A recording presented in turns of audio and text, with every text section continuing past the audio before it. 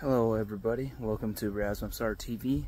Gonna do a quick review for the shorts on the next ring that I was sent from Salah's Archery. Thank you so much. This ring is awesome.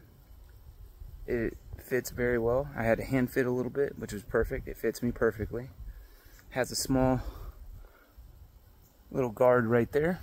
All you gotta do is just make sure that string rests into that guard it's a very beautiful pattern and it works very well. Um, check out our longer video on it and I'll show some clips of me using it.